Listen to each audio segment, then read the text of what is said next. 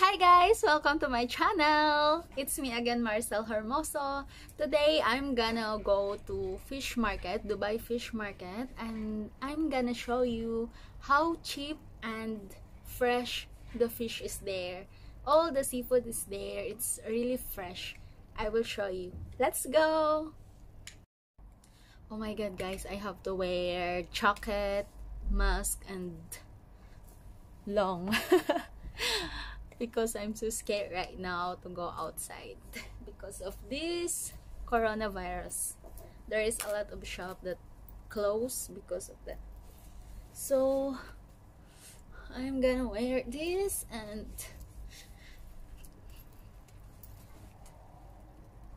and let's go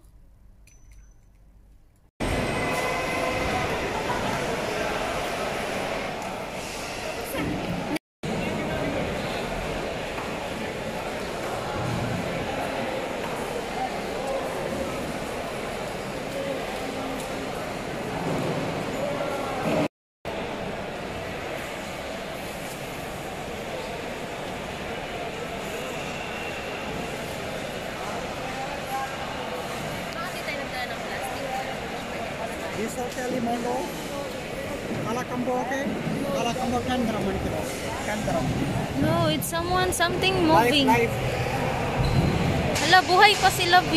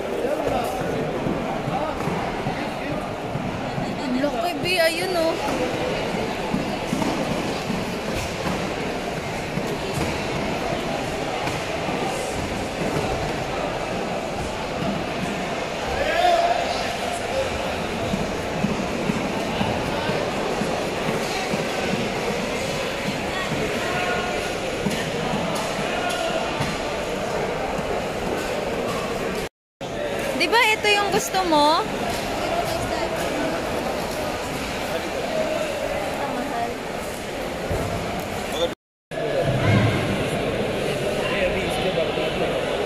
Ito oh. How are you? What's that? Remove your hand. Egg.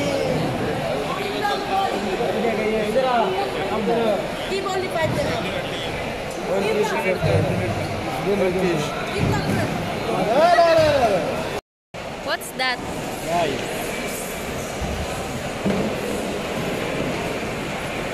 Yeah, I see.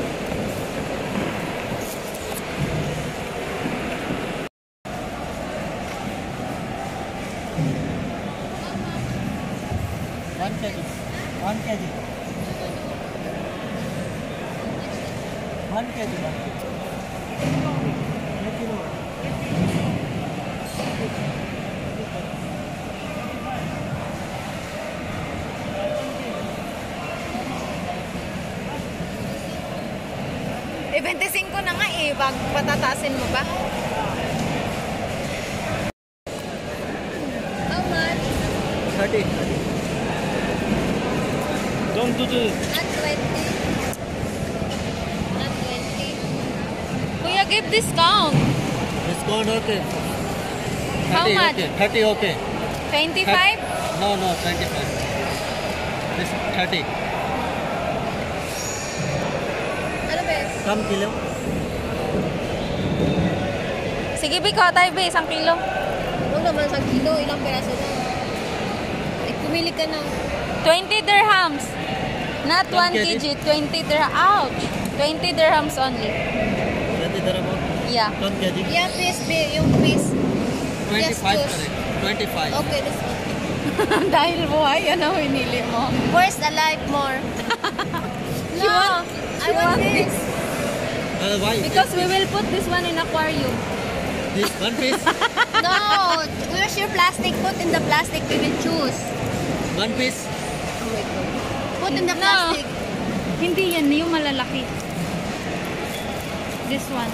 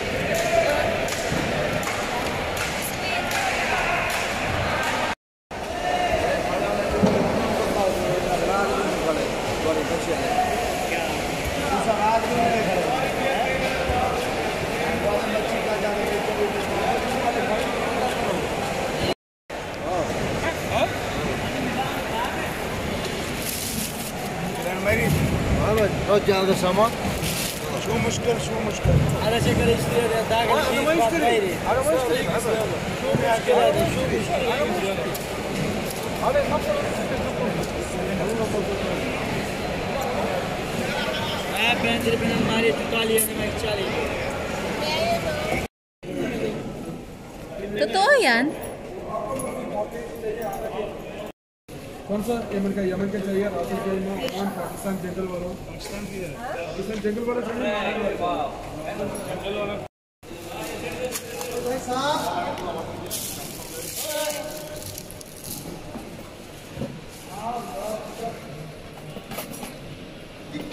छुटा नहीं है भाईजान नहीं है।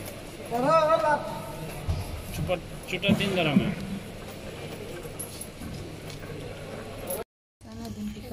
binigyo sa ano. Sa una mong ginawa. Sabihin na lang ginagawa ni Mary.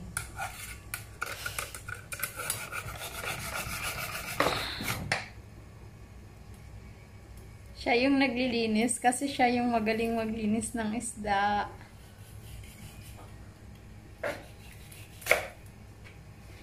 Parang ginawa niyang manok eh. Kinatay. Natatakot siya sa kuko niya kasi nasisira din yung kuko niya. Nagada ng kuko ko, tapos nasira lang.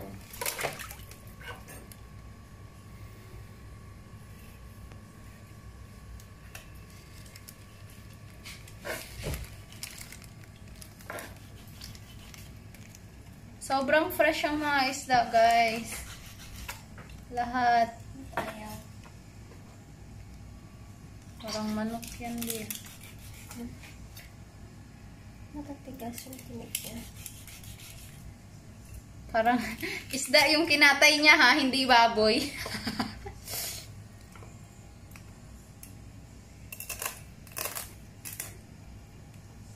Ang galing. Tapos ganyan na siya. Ganyan yung result. Ginagawa niyang daing. Ang galing, 'di ba?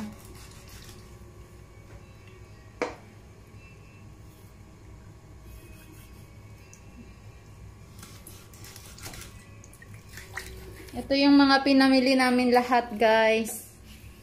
Ayan, may crabs. At isa pa yung crabs namin, sobrang lalaki. Bakit lumalabo? Hindi kailangan lutuin yan.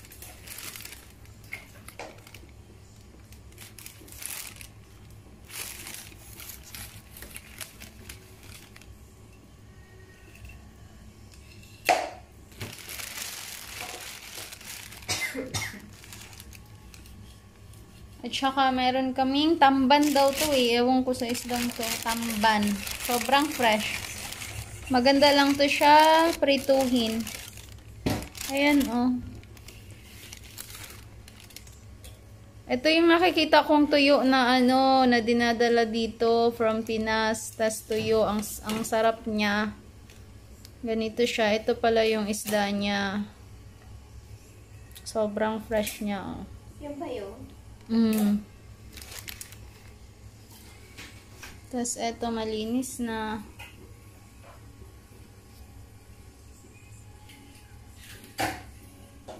Ayan. Ito naman is buto-buto ng salmon. Na masarap siya prituhin dahil sa taba-taba niya. Buto-buto at taba-taba. Tapos, eto, ewan ko anong isda to. Ang galing ng naglinis, malinis na malinis. Tignan, oh. May sugat ako. O, diba?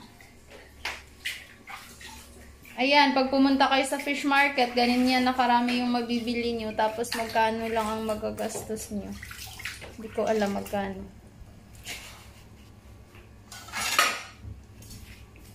Ayan na siya.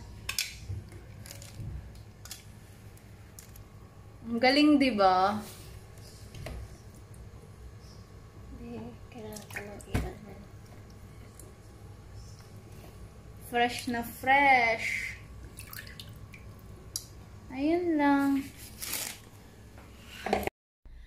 Yun lang po guys. Kung nagustuhan nyo ang video na to, please like, comment, and don't forget to subscribe to be updated for more videos. Bye! Thank you!